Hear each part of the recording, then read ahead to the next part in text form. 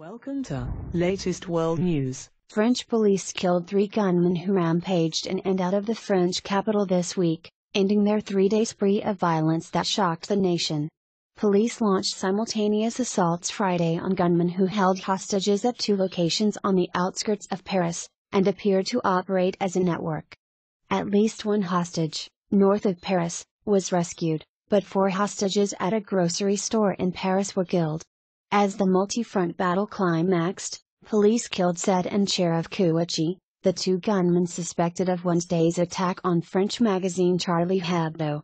A hostage held by the brothers in the building north of Paris was rescued alive in the police raid, according to police officers familiar with the matter. At Portes of Vincennes, on the eastern edge of Paris, police also raided a kosher grocery store where another gunman, Amedy Coulibaly, had taken several people hostage.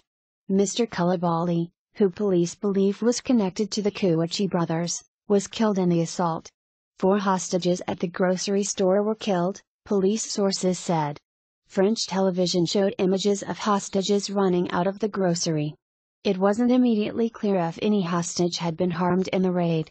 The drama began in the early hours of Friday when police say the Kouachi brothers exchanged fire with police near Paris's Charles de Gaulle airport, before taking a hostage in a print shop.